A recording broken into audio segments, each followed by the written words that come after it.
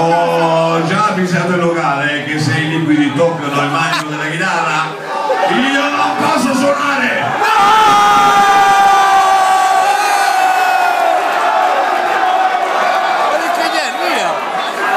i liquidi purtroppo hanno attaccato una chitarra